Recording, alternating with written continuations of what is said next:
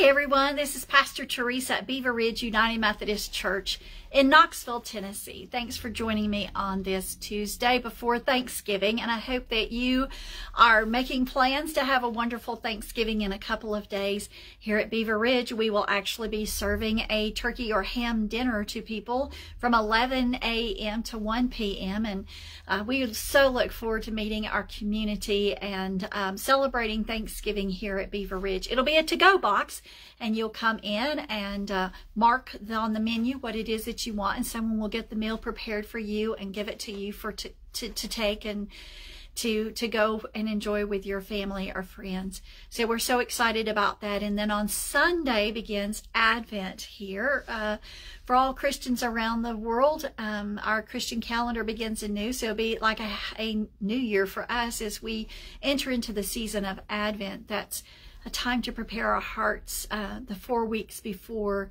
um, Christmas. So lots of things going on over here at New Life. I, I mean, over here at Beaver Ridge. And I encourage you to um, check our website and to look and see what all and keep up with all the good stuff. Look at our outdoor sign. It'll have the next events on there. So thank you for joining me today. Let's dive in. We have been doing um, the the stories in the Gospel of Mark. And so we are at um, the last part of 11, chapter 11, with the authority of Jesus question. Now we are into Holy Week, and Jesus has been coming and going each day into Jerusalem, and then and the evenings walking the two miles back to Bethany to stay with Martha, Mary, and Lazarus. So he has gone into Jerusalem, and while Jesus was walking in the temple courts, the chief priests, the teachers of the law, and the elders came to him. By what authority are you doing these things? They asked. And who gave you authority to do this? So they're beginning to question, like, what is going on? You've come in here, you have disrupted the flow of what they had control over in the way that they were controlling the temple activities and so forth. And so they're confronting him. This was entering into what they would call a debate. And a part of the debate rules was that a person could debate by asking a question. So the chief priests have asked the question. Now, to counter that, Jesus knew that he could ask them a question as part of the debate, and that's what he does. He replied, I will ask you one question. Answer me, and I will tell you by what authority I am doing these things. Here's the question John's baptism, was it from heaven or from men? Tell me. They discussed it among themselves and said, If we say from heaven, he will ask them, Why, did, why didn't you believe him? And, but if we say from men, they didn't even finish that sentence. They feared the people, for everyone held that John really was a prophet. So they answered Jesus, We don't know. And Jesus said, Neither will I tell you by what authority I am doing these things. So they're in a tough situation. And the thing is about the chief priests is that they were really good politicians too. And they understood this fine line between what they needed to do in order to maintain power. And they knew just how far they could go without uh, irritating or disrupting the people to the point where they might want change.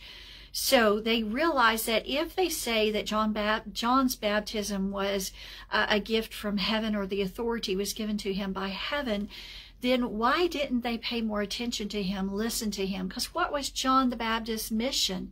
It was to provide the way for the Messiah, to provide the way for Jesus, to point the way to Jesus. And he did fulfill that role.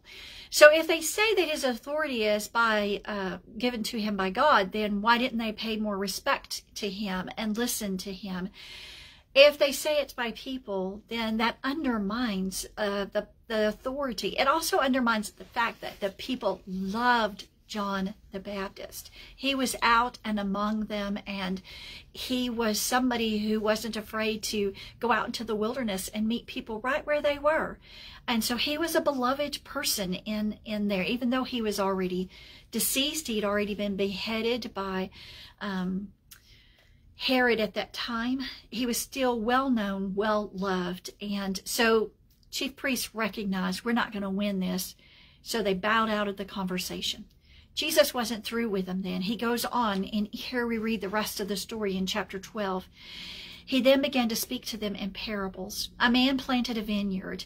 He put a wall around it, dug a pit for the winepress, and built a watchtower. Then he rented the vineyard to some farmers and went away on a journey. Now, this is how they ran vineyards back then. Someone would own the land, and then they would hire the tenants to come in and take care of the land. All that Jesus had just said in this parable was how things were practiced. So they're like, yeah, yeah, yeah, that's just how, how it's done here. Um, he rented the vineyard. He went away on a journey. At harvest time, he sent a servant to the tenants to collect from them some of the fruit of the vineyard. But they seized him, beat him, and sent him away empty handed. Then he sent another servant to them. They struck this man on the head and treated him shamefully. They, he still sent another, and they killed that one. He sent many others. Some of them they beat, others they killed. He had one left to send. It was a son whom he loved. He sent him last of all, saying, They will respect my son. But the tenants said to one another, This is the heir. Come, let's kill him, and the inheritance will be ours. So they took him and killed him and threw him out into the vineyard. What then will the owner of the vineyard do? Jesus asked. He will come and kill those tenants and give the vineyards to others. Haven't you read this scripture? The stone the builders rejected has become the capstone. The Lord has done this, and it is marvelous in our eyes. Then they looked for a way to arrest him because they knew he had spoken the parable against them. But they weren't afraid of the crowd. But they were, sorry, they were afraid of the crowd. So they left him and went away. So Jesus starts this parable and everything seems to be just as what you would think in their own society or culture for that day. What often happened is that then the landowner would come and he would want his portion of the produce that they had harvested, in this case, vineyard, so it was grapes. And they would want that, the owner would want his portion. It was 50-50 uh, or it was 60-40 or you know, whatever they had agreed upon. But somehow in this process, the ones who had rented the land, the servants, the workers, they had become, they had uh, stepped over their boundaries and, and were acting like they were actually the ones who owned it, that they were taking authority that they did not have. And the Pharisees and the, I mean, the chief priests recognized themselves in this parable. You know, God has ownership of everything. We're called to be good stewards of it. So God is owner of all. We're called to be the hands and feet to work the vineyard, to bring God's kingdom into place. That's how God has chosen for it to work through you and me. And so here is a reflection of when the king wants what is his, when God is wanting what is his, what Jesus was saying in this parable was, you chief priests, you have taken ownership. You act as though you're actually God and you've done everything. And when God sent uh, prophets and um, other people to come and, and to share the message of who God is, they rejected it time and time again, uh, beating those prophets up, uh, uh shaming them, um, into the point of death. And so God sends his son, right? So he sent Jesus. They had a moment because they had some sort of awareness that this parable was about them. So they had a moment where they could have repented and said, you know, this is about us. And we have taken the temple, we've taken the Lord's house, we've taken his people, and we've claimed it as ours. And we are, we are acting in place of God. And God just needed them to repent, to change. And they weren't going to do that. Instead, they recognize themselves and they decide to leave and what are they doing? They're now talking about how they're going to kill Jesus. So, even though they see that this parable is about them, they're too far into this that they're not able to stop or don't or choose not to stop.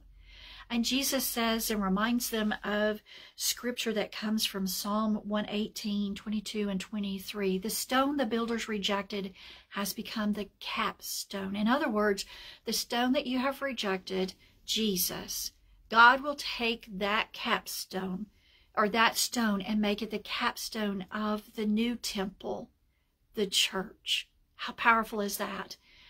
The Lord has done this and it is marvelous in our eyes.